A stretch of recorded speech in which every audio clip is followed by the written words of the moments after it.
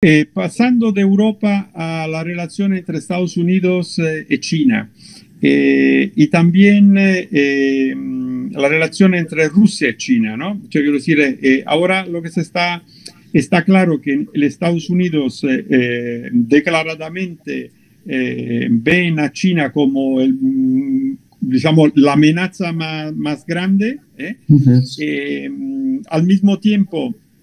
eh, Rusia presionada por toda una serie de políticas eh, eh, como es la política europea hacia los países satélites, incluido Ucrania, ¿no? en términos de NATO, de presencia NATO y tal. y también las sanciones que tiene, parece que se ha acercado Rusia, bueno, siempre ha tenido relaciones eh, controvertida, pero se ha acercado a, más a China. ¿ok? Entonces, ¿cómo veis tú, no tanto bajo el punto de vista de potenciales eh, problemas, eh, tensiones,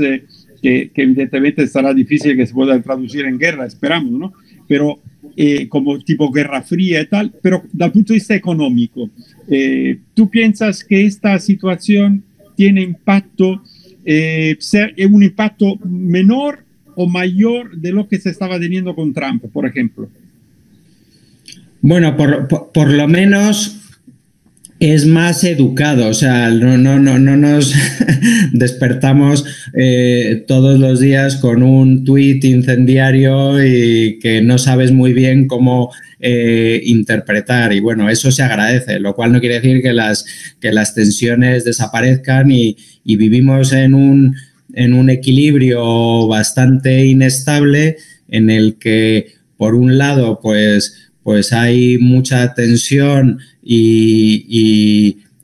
obviamente pues todo el mundo puja por, por preservar su, su, liderazgo y sus ámbitos de, de, influencia, pero por otro lado eh, sabemos que nos necesitamos mutuamente y entonces pues tampoco conviene hacernos eh, mucho daño porque obviamente eh, de China seguimos necesitando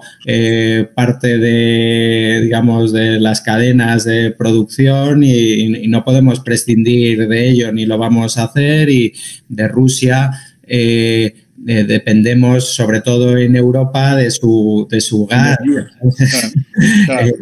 Eh, yo creo que no, nos interesa a nadie tensar en exceso la, la, la, cuerda, ¿no? Pero lógicamente, pues es un, es un tema que además, como es difícil de, de, interpretar y, saber exactamente lo que está pasando, pues que, que es un foco de, de, incertidumbre con el que tendremos que ir, que ir lidiando y que no, no, eso no va a desaparecer, ¿no?